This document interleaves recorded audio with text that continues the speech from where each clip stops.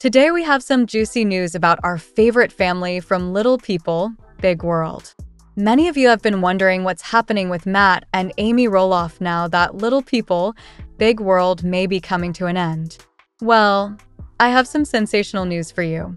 First, let's talk about Matt and Amy. These two have been through 25 intense seasons together, even after their divorce in 2016. It hasn't always been smooth sailing, but they've managed to keep their relationship alive for the sake of the show and their family. Can you believe it? Matt recently opened up in an interview with ET Online, talking about how he and Amy are doing now. He said, I never imagined that Amy and I would end up breaking up. Human relationships evolve and change. And I'm very, very happy for Amy that she is Chris. That's right, friends. Matt is genuinely happy for Amy and her new husband, Chris Marek. Isn't that touching? Matt went on to talk about what a great couple Amy and Chris are. He said, They're a great couple and we love them and spend a lot of time with them. We're not best friends every day, but we definitely spend time together. Despite the fact that Matt and his fiancee Caryn Chandler are not always around Amy and Chris, they have managed to build a pretty strong bond. What do you think about this? Write to me in the comments. Now, let's dive a little deeper into Matt and Amy's life after the breakup. Their breakup was definitely a tough ordeal, but it looks like it was for the best. Matt and Amy were able to move on and find new love. Amy met Chris shortly after the divorce, and they tied the knot in 2021.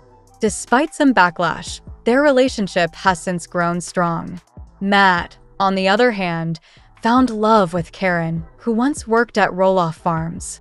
They started dating in 2017 and are now planning their wedding. How exciting is that? Who else is looking forward to their big day? Write to us in the comments below. As for the rest of the Roloff family, the children, Jacob, Molly, and twins Zach and Jeremy, have already left Little People big world. It is clear that the family has faced some difficulties, but Matt and Amy have managed to stay in touch for the sake of their children and grandchildren. Isn't it inspiring that they put family first? Although the future of little people, big world remains uncertain, it seems that the Roloffs are focusing on the positive and moving forward.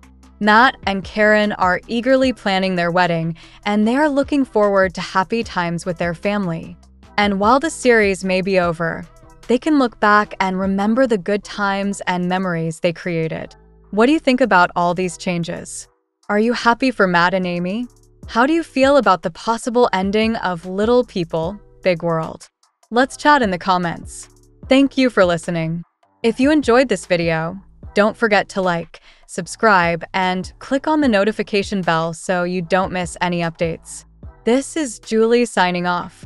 Until next time, stay fabulous.